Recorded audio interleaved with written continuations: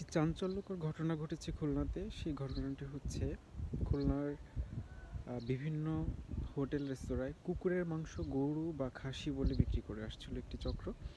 দীর্ঘদিন যাবৎ তারা বিভিন্ন রেস্টুরেন্টে এই কুকুরের মাংস, খাসি এবং গরু বলে বিক্রি করছিল এবং সেই কুকুরের মাংস দিয়েই তৈরি হচ্ছিল মুখরোচক বিভিন্ন মাংস জাতীয় খাবার, যেমন বিরিয়ানি, গ্রিল সহ আরও বিভিন্ন ধরনের খাবার।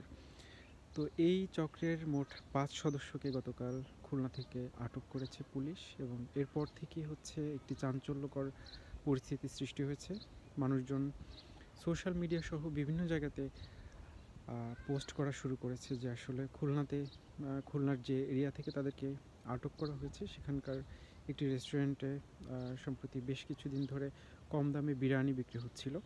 বিরিয়ানির এক এক প্লেটের দাম মাত্র তিরিশ টাকায় বিক্রি হচ্ছিল যে বিরিয়ানিগুলো তারা বলছিল যে খাসি এবং গরু দিয়ে তৈরি। তো মূলত পুলিশ সেই যে বিরিয়ানি বিক্রেতা তাকেও আটক করেছে। তো গতকাল বিকালে হচ্ছে এই কুকুর বিক্রেতাদের ধরেছে পুলিশ। খুলনার যে পলিটেকনিক ইনস্টিটিউট রয়েছে, সরকারি পলিটেকনিক, সেই পলিটেকনিক ইনস্টিটিউটের একটি পরিত্যক্ত ভবনের ভিতরে তারা কুকুরগুলো জবাই করতো। বিভিন্ন সময় তারা বিভিন্ন জায়গা থেকে কুকুর ধরে এনে এখানে জবাই করে, এখানে বসে মাংস প্রসেসিং করে। তারা কম দামে চারশো টাকা, পাঁচশো টাকা কেজিতে বিভিন্ন রেস্তোরাঁয় বিক্রি করতো এবং সেই রেস্তোরাঁগুলো এই কুকুরের মাংস দিয়ে বিরিয়ানি তৈরি করতো গ্রিল বিভিন্ন কাবাব তৈরি করতো, বিভিন্ন বার্গার, বার্গারের মধ্যে ইউজ করতো। তো এভাবেই মূলত কম দামের যে সস্তা খাবার সেগুলো প্রস্তুত করা হতো। তো এই চক্রের যাদেরকে আটক করা হয়েছে, তাদের কাছ থেকে জানা গেছে যে তারা বেশ কয়েক মাস যাবতই হচ্ছে তারা এই ধরনের কাজ করে আসছে এবং যেখানে বসে তারা এই ধরনের কাজ করেছে সেখানে এর আগেও তারা কুকুর জবাই করেছে, তার আলামতও পাওয়া গেছে। তো বিভিন্ন সংবাদ মাধ্যমে এ নিয়ে সংবাদ হয়েছে সেখানে যাদেরকে আটক করা হয়েছে তারা সবাই কিশোর। তো এই ঘটনাটি ঘটার পরেই কিন্তু আহ, খুলনা সহ খুলনার আশেপাশের যে জেলার মানুষজন খুলনাতে গিয়ে বিভিন্ন রেস্তোরাঁয় খাওয়া দাওয়া করে ভোজন রসিক মানুষ তাদের মধ্যে একটি অস্বস্তিকর পরিস্থিতি তৈরি হয়েছে।